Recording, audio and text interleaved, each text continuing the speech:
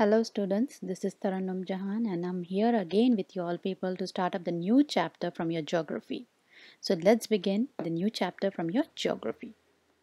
So this is the chapter 5 of your geography by a name Natural Vegetation and Wildlife for the class 9 and the book we are following is NCERT. So let's start with the introduction of natural vegetation and wildlife. India stands in the 12th position in the country in mega biodiversity and it is on the 10th position in the world having 47,000 species and the 4th position in Asia by having 45,000 flowering plants. That is 6% of the total number of flowering plants are there in India and 90,000 species of animal as well as the fish in marine water. Now let's see what is natural vegetation. Natural vegetation refers to the plants which grows naturally without any human aid. And if it is left undisturbed by the humans for a long time is called as virgin vegetation. Now what is flora? Flora is used to denote flower plants of a particular region. And what is fauna? It is used to denote animals of particular region. Or we can say that flora is equal to all the flowers, plants, uh, like uh, natural vegetation plus the crops is equal to flora. And if you want to say that what is fauna, then you can say the wildlife plus pets is equal to fauna. So, this all belongs to the biodiversity. Now let's see the factors that affect natural vegetation. So the factor that affect the natural vegetation are the first is relief. Under relief we are having land and soil. Now how land affect the natural vegetation and how the soil is going to affect the natural vegetation let's see. The highlands and the lowlands that is nothing but the mountainic and the plain areas. The highlands and the lowlands are taken into consideration which affects the vegetation because in highland you find more soil erosion and less fertility than compared to the lowlands. So even land plays a very important role in the natural vegetation. Next see the soil, how the soil plays a very important role in the natural vegetation. So different types of soil provide different types of vegetation.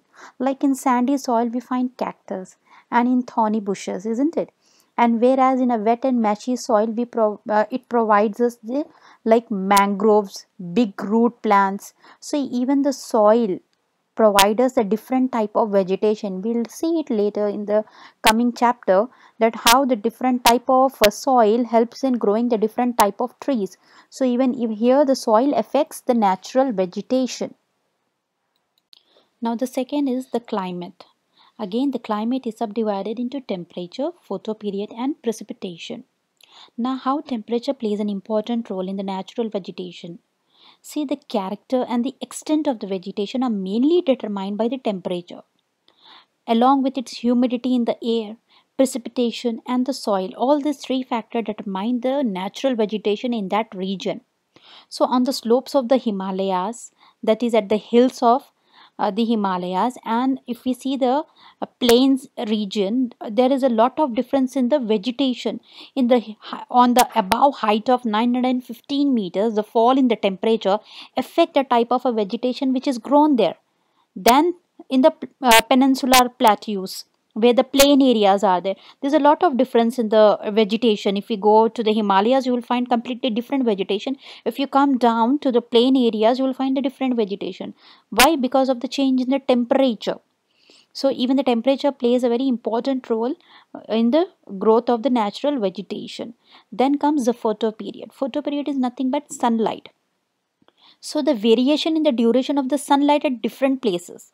There are the variation in the different places of the sun. Sometimes it is very uh, high rays, sometimes it is very less rays in the region, like uh, compared to the southern side to the northern side. If you see, there is a lot of du uh, duration changes in the sunlight. So due to this difference, why this differences is there? Due to the differences in the uh, latitude, altitude, the season and the duration of the day. So due to the longer duration of the sunlight, trees grows faster in summer than compared to the uh, this uh, June and September where you don't have that much of sunlight. So the photo period even plays a very important role while growing the natural vegetation. Then the next is precipitation. In India, almost the entire rainfall is brought in by the advancing southernmost monsoon. That is when it is come during the period of June to September and retreating to the north monsoon areas of a heavy rainfall. And they have more dense vegetation as compared to the other areas of the less rainfall. Why? Because this uh, you will learn this in the climate chapter in your geography you are having one climate chapter you will learn this how the monsoon comes the monsoon is coming from the southern side. And when they reaches up towards the northern monsoon there the natural vegetation then compared to the southern side is completely different. Because by that time it uh, takes up much of the moisture and it rains heavily uh, towards the northern side the area. Then compared to the southern side that is the reason why we have in the northern side a very dense vegetation than compared to the southern side and the third is ecosystem. All the plants and animals in an area are interdependent and interrelated to each other in the physical environment, forming an ecosystem.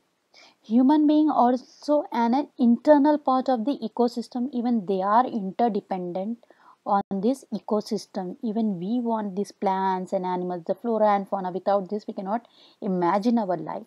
So even the human beings are the part of this internal part of this ecosystem. So with this diagram you can understand that how we are completely internally interdependent on each other. Let's see the importance of forest. Forests are renewable resources and it enhances the quality of the environment. They modify the climate and controls the soil erosion and they regulate the stream flow that is the wind flow. These support the industries with wood and many other agro-based industries and forest-based industries. It controls temperature, rainfall and wind forces. It provides humus that is the dead leaves and the plants to the soil and shelter to the wildlife. Now let's see the types of vegetation. The following are the major types of vegetation that can be identified in our country. They are the tropical evergreen forest, tropical deciduous forest, tropical thorn forest and shrub forest, mountain forest, mangrove forest. So these are the five types of vegetation that are found in India. Now just have a close look and find it out that what kind of a vegetation is found in India. So with this map you will understand according to the temperature, this uh, climate, soil and land, how the vegetation is differing. So here see the dark green color in, on the map shows the rainforest. Then just in the middle if you see this uh, the peninsular region, if you will see this you will find the tropical deciduous forest and just above that green color that is near the Jammu and Kashmir you are going to find the man montane forest. Because it is a mountainic region it, it is called as montane forest. And see here near this bangladesh a small here you find the highest rainfall. And here you are going to find out the mangrove forest. And the remaining the yellow one is the tropical thorn forest. Here you will just find the bushes. It's a tropical thorn forest the yellow part area so this is how the vegetation has been divided in Indian parts as per the climate, precipitation, photoperiod, soil and land, all the relief factor which have been affecting the natural vegetation. According to that, the vegetation has been distributed in India. So let's see one by one what it is. So le let us discuss in detail. Now let's see the first forest that is tropical evergreen forest. And first look at the map and then we'll see what is tropical evergreen forest. Now near the western Ghats if you see that green color and near the Assam side if you see that green color and this green color is not visible over here it is uh, here there even the Lakshadweep and the Andaman and Nicobar side. So this is the area where we find the tropical evergreen forest. Wherever you find this type of a color which is there near the western Ghat near the Assam side this color uh, green color is nothing but the tropical evergreen forest. So let's see what is tropical evergreen forest. Tropical evergreen forest is also called as rainforest. This forest requires heavy rainfall These are found near the Western Ghats and the island group of Andaman and Nicobar, Lakshadweep and upper part of Tamil Nadu and Assam. They require 200 centimeter of rainfall. And the trees that reach the great height of 60 meters and above, the trees which grows over here that can reach to the height of 60 meters and even above.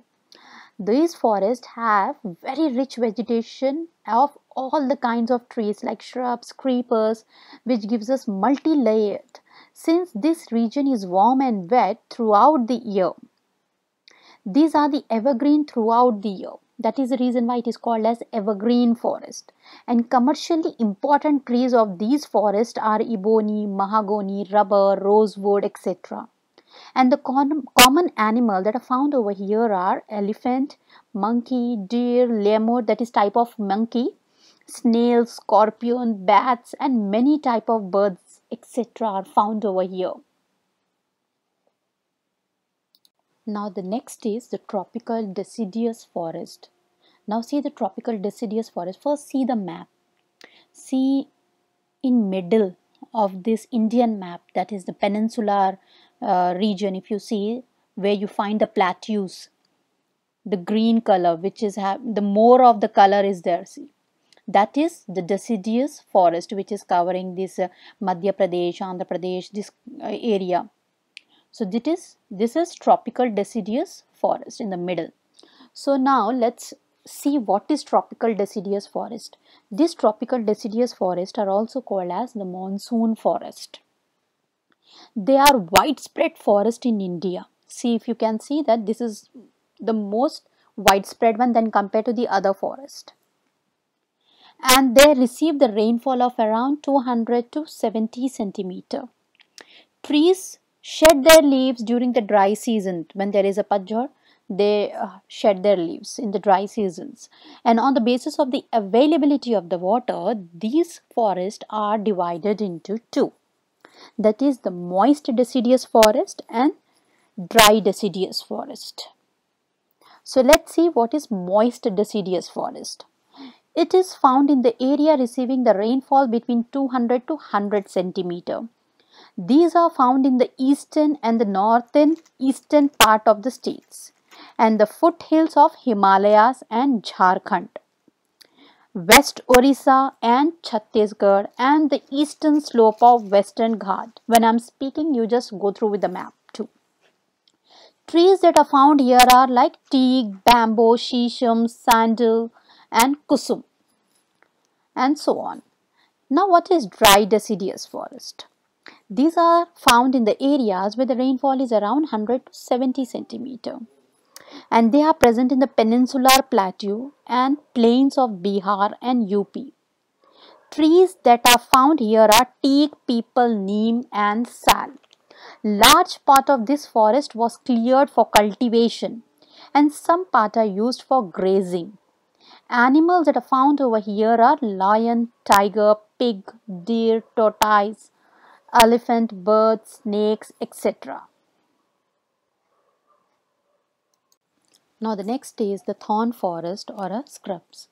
Now if you see the yellow part in the map, this yellow part wherever you find on the Indian map, this is the thorn forest.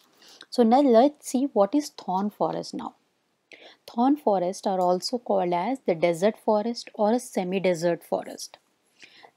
These type of forests are found in the area where the rainfall is less than 70 centimeter. Mostly thorny bushes, babul, etc. are grown over here. Trees have long roots penetrating deep into the soil to get moisture. The stems are succulent. Succulent is nothing but thorny to conserve water. Leaves are mostly thick and small to minimize evaporation. Animals that are found here are rats, mice, rabbits, wolf, tiger, lion, fox, wild horse and camels etc. So this is what about the thorn forest. Now the next is the montane forest. Now again look at the map and see where the montane forests are found. See near this uh, Jammu and Kashmir area then again here uh, at the end of the Nepal you are having a green color the green color which you are having near the Jammu and Kashmir and the end of the Nepal. Here this is a region where we find the montane forest. Now let's see what is montane forest now. Now the montane forest. These are also called as montane forest. Here we find the evergreen forest and very wet temperature. Trees grow here up to the height of 1000 to 2000 centimeter and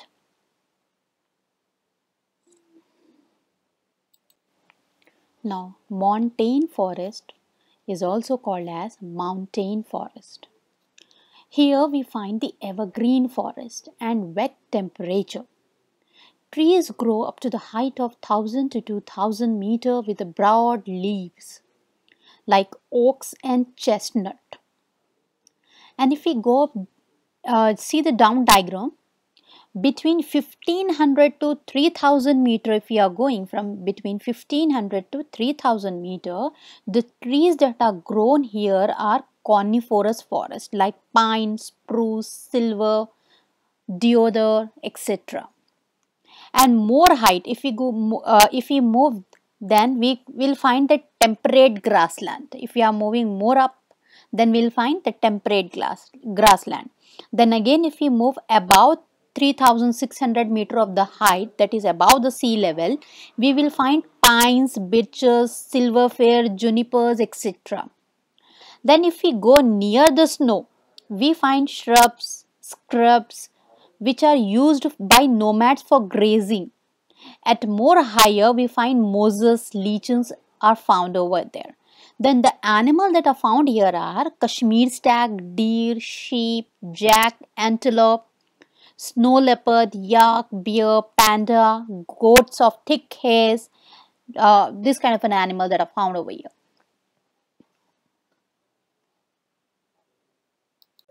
Now the next is mangrove forest. Now what are these mangrove forest? Before that you should know where the mangrove forest are found.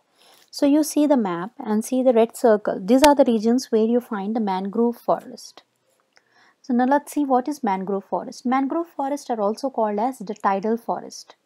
These forests are found in the area of coast influenced by the tides where mud and silts get accumulated due to the tides all the mud which are washed out they just stand in this area so all the slit it is a completely a mashy area so the dense mangrove are the common varieties with the roots of the plants submerged under the water here you, if you see the background uh, image you can see that how the roots of the plants are submerged in the water. So this is this kind of a trees are found in the mangrove forest where the roots are submerged inside the water. They are found in the deltas of Ganga, Mahanadi, Krishna, Godavari and Kaveri. In Ganga we find the Sundari trees that provide us hard timber then we also find coconut, keora, any other trees. And the animal that are found over here are the Bengal tiger, turtles, crocodiles, snakes, etc. So these are the four. These are the animal that are found in the forest and this kind of a trees. It is very dense mangrove. We find the dense one, and it is also called as a tidal forest. Now let's see the wildlife of India. India is also rich in fauna. It has approximately 90,000 animal species and 2,000 species of birds, which constitute 13% of the world total. And there are around 2,546 species of fish, which accounts nearly 12% of the world's stock. Not only this, it has around 5 to 8% of the world amphibians, reptiles, and mammals. The elephants are the most majestic animal among the mammals. They are found in the hot, wet forest of Assam, Karnataka and Kerala. One-horned rhino are also the other animal which live in swampy, marshy lands of Assam and West Bengal.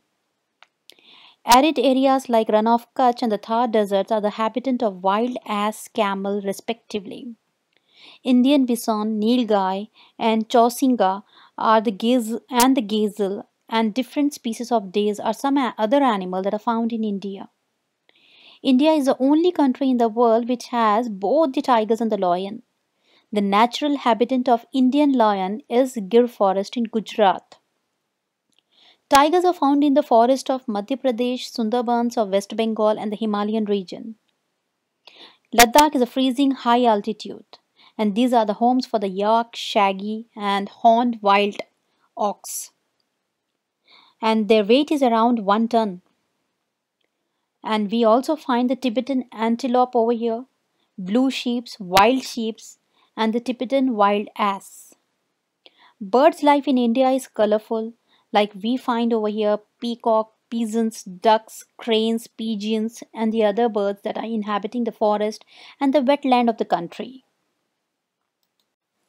Now let's see the major threats to the flora and fauna that are caused by the human being.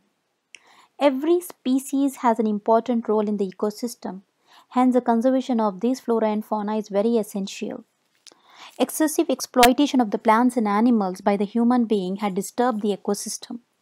About 13,000 plants are endangered and 20 species are extinct, that is nothing but completely vanished. Few animals are endangered and became extinct. Now, how we are causing this threat to the flora and fauna? This is nothing but by hunting, just for the commercial purpose. Pollution due to the chemical and industrial waste. And cutting of the forest to bring the land under the cultivation. So we are rapidly cutting down the complete forest. We are just cutting down the forest just for the purpose of the cultivation. So these are the major threats that have been done by the human being to the flora and fauna. Now let us see what government has done or what steps the government has taken in order to protect the flora and fauna of the country. 14 biosphere reserves have been set up by the country to protect the flora and fauna. Four out of these are in the Sundarbans in the West Bengal, Nanda Devi in Uttarakhand, and Gulf of Mannar in Tamil Nadu, and Nilgiris in Kerala, Karnataka, and Tamil Nadu. These have been included in the World Network of Biosphere Reserves. Financial and technical assistance is provided to many botanical gardens by the government since 1992.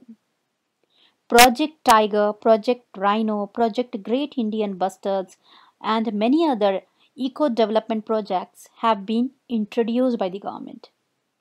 89 national parks, 490 wildlife sanctuaries, and zoological gardens have been set up to take care of this natural heritage.